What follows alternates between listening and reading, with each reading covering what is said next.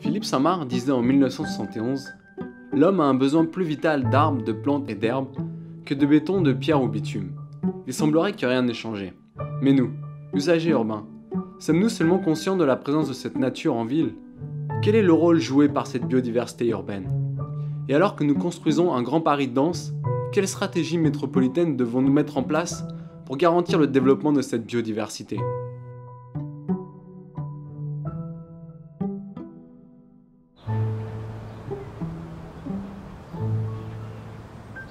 Ce matin, j'ai rendez-vous avec Monsieur Jacob, expert de la biodiversité urbaine à Paris.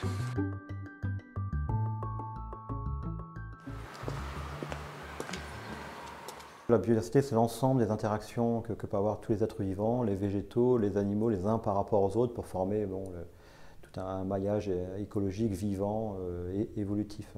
On parle de milieu, milieu urbain maintenant, lorsqu'on parle d'écologie urbaine, pour montrer qu'on est dans quelque chose d'un peu particulier, euh, très formaté par l'homme, mais dans lequel on, trouve quand même des, tout, un, tout un écosystème.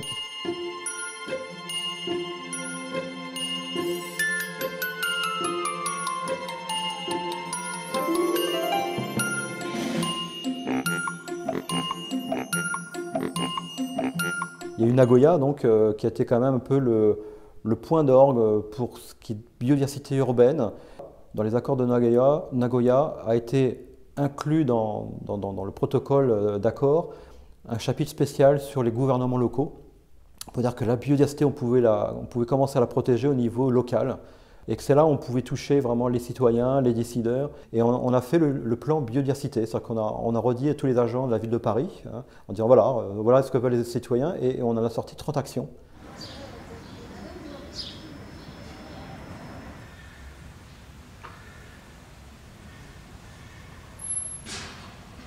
Paris, on a reconstitué tout un réseau de, mares et on voit que dès qu'on crée une mare, les insectes viennent, les oiseaux viennent boire.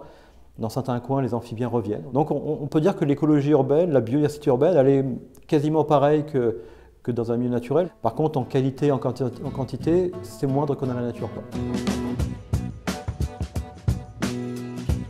En ville, nous retrouvons cette biodiversité un peu partout, que ce soit sous la forme de friches, dans les cimetières, dans notre cour d'immeuble, même sur nos balcons. Plus surprenant encore, le périphérique a un rôle majeur dans la biodiversité parisienne, permettant à la fois son développement et ses déplacements. Bien entendu, tous ces animaux ont besoin de bouger, ont besoin de se renouveler génétiquement, et c'est bien sûr les trames vertes et voire trames bleues hein, pour tout ce qui est aquatique qui fera que toute cette nature sera vraiment vivante et se retrouvera dans un cycle de vie bien, bien particulier. Voilà, je fais une petite pause dans le parc de Bercy. Il commence à faire très très chaud, ils ont annoncé des grosses températures pour aujourd'hui. Et finalement, je suis bien content d'être à la fraîche ici, il y a pas mal de gens qui se baladent, qui profitent. Ah bah nous, nous, usagers, ça nous apporte euh, la vie. C'est-à-dire que nous, humains, on fait partie de cette biodiversité. C'est vrai que la ville, c'est le biotope de, l'homme. La verdure euh, atténue très grandement les, euh, les, pics de, les pics de chaleur, pics de pollution. Donc ça, c'est, on va dire, les services rendus directement pour la biodiversité.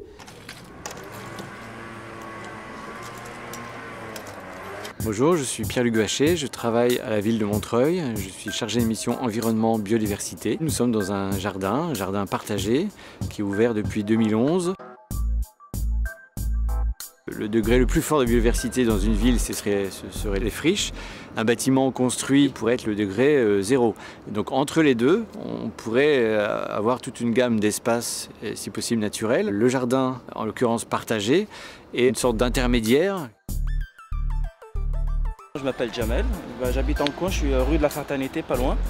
Et je viens régulièrement et avec mes enfants euh, passer des bons moments ici. Voilà, c'est pour euh, s'apaiser un petit peu. Quand on a un métier, assez difficile, euh, ça fait du bien de, voir un peu de verdure, ça nous repose un petit peu. C'est un bon équilibre pour mes enfants et, ils voient, c'est du partage, quoi. ils voient d'autres personnes. on, échange des idées, franchement c'est agréable. C'est mieux que voir du béton à chaque fois. J'aime beaucoup venir ici parce que il y a des enfants qui viennent ici, je joue avec eux. Et il y a plein de choses là-bas, il y a des cabanes et tout, il y a des jeux de société. J'aime beaucoup prendre les fraises. les manger. Ce sont des terrains qui sont un peu ingrats souvent. C'est aux personnes d'inventer un peu les qu'il faut faire pour que ça fonctionne en fait. hein. Par exemple, il n'y a pas d'installation de d'eau.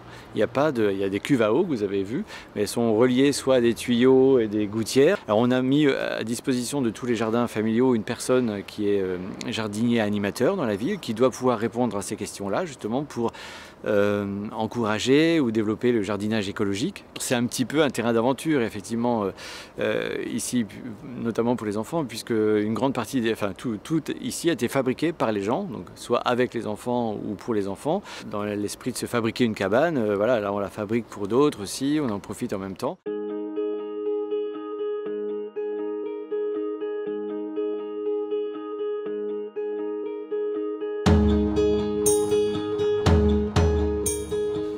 C'est- clair que c'est vraiment un indicateur euh, de vie, hein. c'est notre vie, hein, l'écologie, euh, la- la biodiversité, c'est vraiment ce qui est notre base.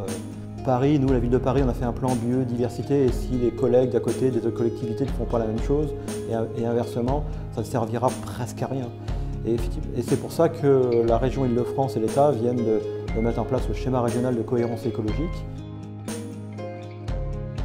Moi, je suis Marc Barra, écologue à, Nature Parif. Euh, Dans l'idée, de manière très simple, il s'agit d'un réseau de perméabilité du vivant euh, sur le territoire. Dans l'idée, c'est simple. Dans la pratique, ça l'est beaucoup moins. On parle de trame verte, trame bleue. On a l'impression que c'est juste une question d'eau et de verdure, par exemple. Mais non, d'autres chercheurs vous diront il y a aussi la trame brune, qui est le sol, parce que sans sol vivant, vous n'avez pas de végétation euh, et vous n'avez pas de vie euh, au sens large. Et donc, tout ça, ça doit se décliner échelle par échelle. Et par exemple, dans les villes, qu'est-ce que ça veut dire que mettre en œuvre la trame verte et bleue dans une ville?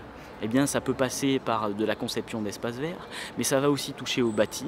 Et la trame bleue dans les villes, c'est quoi? Mais c'est restaurer le cycle de l'eau. Parce qu'aujourd'hui, beaucoup de villes sont très imperméables, euh, les sols sont très tassés, donc n'assurent plus leur rôle de filtration de l'eau de pluie. Nous, ce à quoi on travaille à Nature Paris, c'est aussi intégrer cette question des trames vertes et bleues et cette question de la nature au sens large dans les documents d'urbanisme, dans lesquels on va euh, inciter les communes ou les intercommunalités à traduire concrètement sur cartographie et dans les articles du règlement cette prise en compte de la nature.